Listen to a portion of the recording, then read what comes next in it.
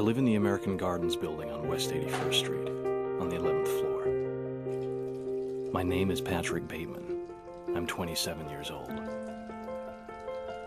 I believe in taking care of myself, in a balanced diet and a rigorous exercise routine. In the morning, if my face is a little puffy, I'll put on an ice pack while doing my stomach crunches. I can do a thousand now.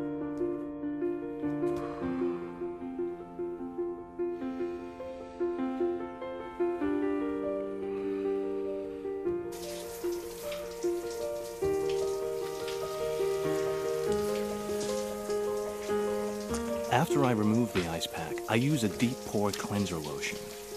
In the shower, I use a water-activated gel cleanser. Then a honey almond body scrub.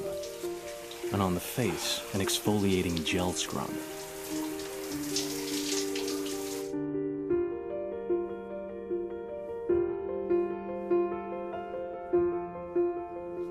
Then I apply an herb mint facial mask, which I leave on for 10 minutes while I prepare the rest of my routine.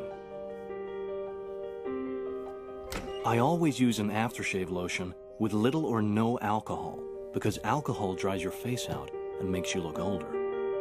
Then moisturizer, then an anti-aging eye balm followed by a final moisturizing protective lotion. There is an idea of a Patrick Bateman, some kind of abstraction, but there is no real me, only an entity, something illusory. And though I can hide my cold gaze, and you can shake my hand and feel flesh gripping yours, and maybe you can even sense our lifestyles are probably comparable, I simply am not there.